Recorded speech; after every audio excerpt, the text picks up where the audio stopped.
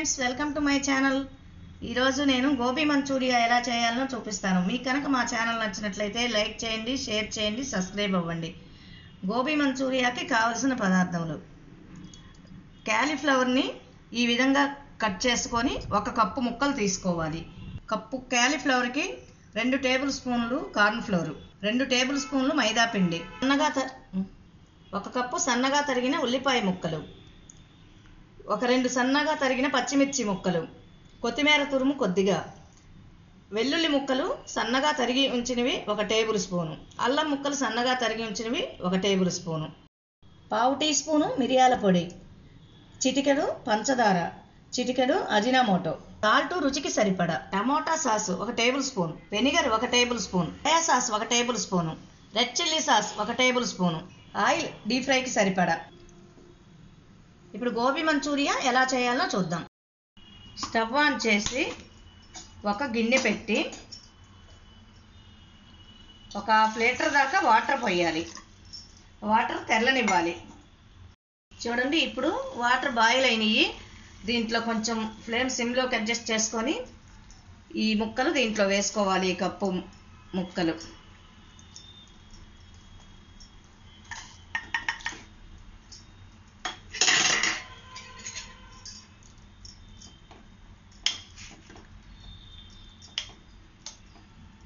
వీటిని ఒక five minutes వరకు ఇలా ఉంచేసుకోవాలి.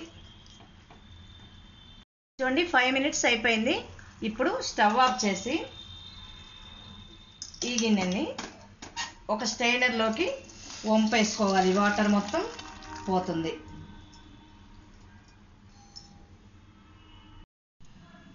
చూడండి ఇందులో ఉన్న వాటర్ మొత్తం కంప్లీట్గా పోయినాయి. ఇప్పుడు వీటిని ఒక బౌల్లోకి తీసుకోవాలి.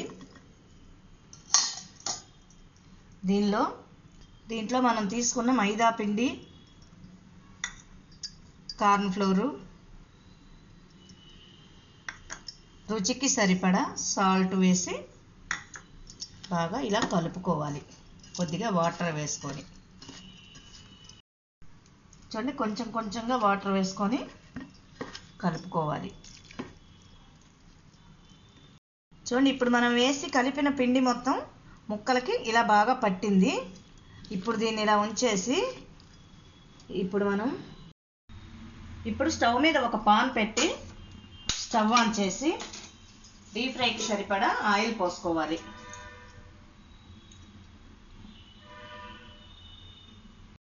చూడండి ఆయిల్ వేడెక్కింది. ఇప్పుడు మీడియం ఫ్లేమ్లో పెట్టుకోవాలి.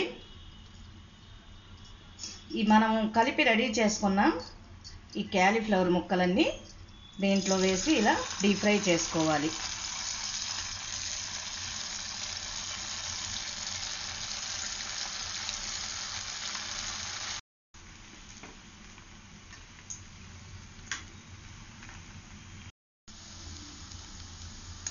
చూడండి ఇప్పుడు వీటిని కొద్దిగా ఫ్రై అయినవి వీటిని మొత్తం తీసి మళ్ళీ రెండోసారి కూడా డీప్ ఫ్రై చేసుకుంటే బాగుంటాయి. వీటిని ఒక ప్లేట్లోకి తీసుకోవాలి. ఈ విధంగా ఈ మిగిలినవి మొత్తం డీప్ ఫ్రై చేసుకోవాలి.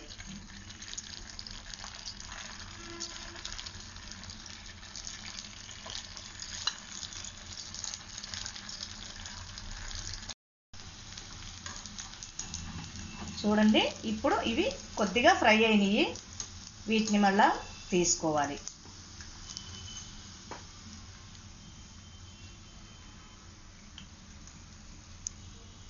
ఇప్పుడు వీటిని ప్లేట్లోకి తీసుకొని మళ్ళీ ఆయిల్ కొంచెం వేడెక్కనిద్దాం.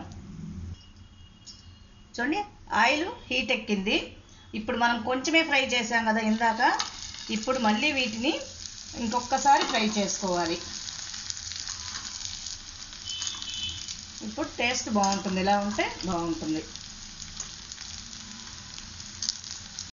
చూడండి ఇప్పుడు రెండోసారి ఆయిల్లో వేశాక బాగా గోల్డెన్ బ్రౌన్ కలర్ వచ్చినాయి. ఇప్పుడు వీటిని ప్లేట్లోకి తీసుకోవాలి. ఈ విధంగా మొత్తం ఓ ప్లేట్లోకి తీసి పెట్టుకోవాలి. చూడండి ఈ మొత్తం ఫ్రై చేసి ఓ ప్లేట్లోకి తీసుకున్నాను క్యాలీఫ్లవర్ అంతా. ఇప్పుడు మనం చూడండి ఒక పాన్లో రెండు టేబుల్ స్పూన్లు ఆయిల్ వేసి స్టవ్ మీద పెట్టి స్టవ్ వెలిగించుకోవాలి. చూడండి ఆయిల్ వేడెక్కింది. ఇప్పుడు మనము కట్ చేసి పెట్టుకున్న వెల్లుల్లి ముక్కలు వేసుకోవాలి. తర్వాత అల్లం ముక్కలు వేసుకోవాలి. ఆ తర్వాత పచ్చిమిర్చి ముక్కలు కూడా వేసుకోవాలి. వీటిని ఇలా ఫ్రై చేసుకుంటూ ఇప్పుడు ఆనియన్ ముక్కలు వేసుకోవాలి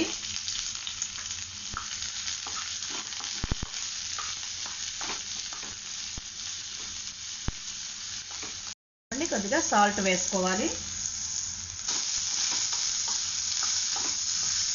వీటిని బాగా ఫ్రై చేసుకోవాలి. కానీ ఇప్పుడు ఆనియన్స్ కూడా ఫ్రై అయిపోయినాయి. ఇప్పుడు మిరియాల పొడి టేస్టింగ్ సాల్ట్ కొద్దిగా పంచదార ఈ మొత్తం వేసి కలపాలి.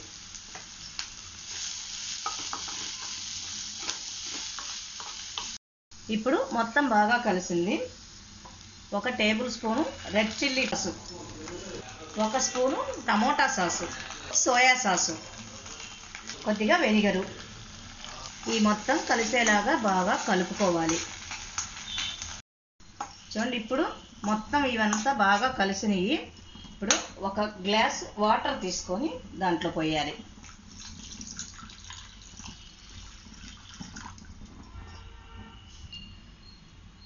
ఈ వాటరు బాగా తెల్లనివ్వాలి. చూడండి ఇప్పుడు వాటర్ తెల్లుతున్నాయి ఒక పావు టీ స్పూను కార్న్ ఫ్లోర్ తీసుకొని దాంట్లో కొద్దిగా వాటర్ యాడ్ చేసుకొని కలిపి దీన్ని ఇలా దీంట్లో పోసి కలుపుకోవాలి. చూడండి వాటర్ బాగా బాయిల్ అయినాయి నూనె తేలింది. ఇప్పుడు మనం ఈ ఫ్రై చేసుకున్న ఈ ముక్కలు దీంట్లో పోసుకోవాలి.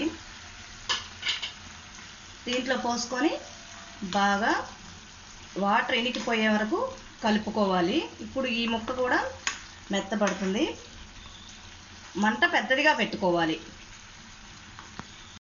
చూడండి వాటర్ వేసుకున్నందువల్ల ఈ టేస్ట్ అంతా ఈ ముక్కలకు పడుతుంది.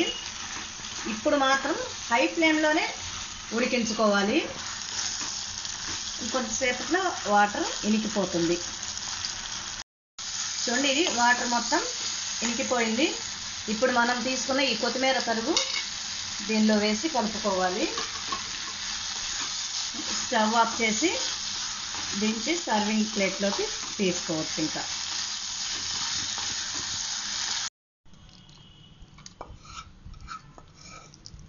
చూడండి దీన్ని సర్వింగ్ ప్లేట్లోకి తీసేసుకున్నాం.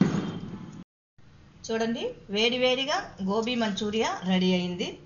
Thank you for watching